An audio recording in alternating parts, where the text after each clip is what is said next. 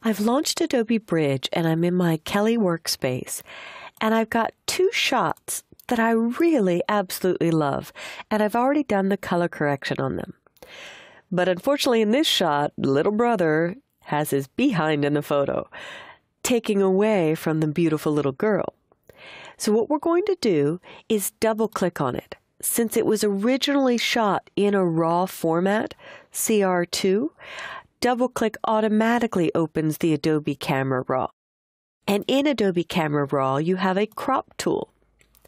And when I draw this crop, I'm using visually the rule of thirds, trying to imagine that there's a guide here and here, here and here, dividing this image up into nine equal slices so that the most compelling or interesting portion of the photo the child's face is at the intersection of two grid lines. In fact, on the crop tool, they have saved or preset ratios. One to one meaning actual size, which is the default, but you can crop at a 2 by 3 ratio, 3 to 4, and it will constrain you to those dimensions. I'm going to leave it on normal, and after drawing the area of the image I'd like to keep, I will hit FX for effects. Over in all of these Adobe Camera Raw settings, that's where the post crop vignetting is contained. If I take post crop vignetting and slide the amount to the left, there you could see a very cool photographer's trick called burning the corners. With this bit of darkness, that has a roundness to it and a feather to it. I can feather less, and you'll see a hard edge for a special effect like a spotlight. I could feather more and see how it blends more towards those edges. In fact, in outdoor shots, sometimes the light can cause darker corners, which may not be pleasing because you want even tones all the way around. You could actually do the opposite in post-crop vignetting, which is to lighten up the corners. And in fact, this is another nice special effect. If I do want kind of an ethereal glow all the way around the outside, I could use a positive post-crop vignette. Post-crop just means after it's been cropped, apply this blend to the edge. I can also change where it occurs, more towards the center or more towards the edge of the photo. Since her face exists at the edge, I don't want my midpoint too low. I want it pretty far out, closer to the actual edge of the photo.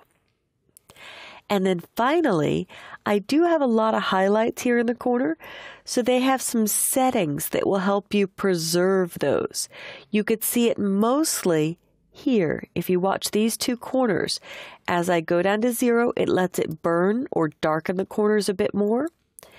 As I slide it up, it's preserving more of that highlight. In this case, I don't need to slide that up, but it is something to experiment with. Then I can choose Open Image and do any other correction work I want to for this, or simply save it so I can go get it printed. I'll do File, Save As, and this is a corrected one. So I usually add CX on the end to know that I've done my retouching. And I'll save that on my desktop and I'll take a look where I'm saving it and I've built a corrected images folder. And I'll save it right there. And then back to bridge. So you could see that on this shot, not only have I color corrected it by this icon, but I've cropped it in a Camera Raw. And since Camera Raw never overwrites the original, if you decide to change that crop amount or reverse this to be the white cropped edge, all you do is double click. Here's Camera Raw again. I'll go to Effects and I'll try the opposite style and a bit more feather, and I'll move it closer to the inside. Really neat special effect. I'll hit Open Image again.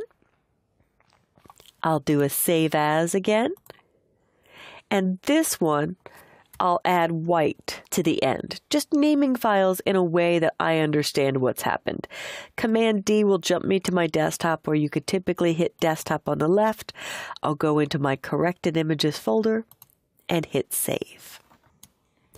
I hope you've seen in this recording all the wonderful things you could do with Adobe Camera Raw's crop tool.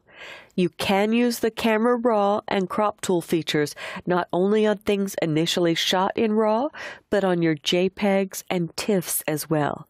So take some time, experiment with the dials and settings there in the effects portion of the Adobe Camera Raw dialog.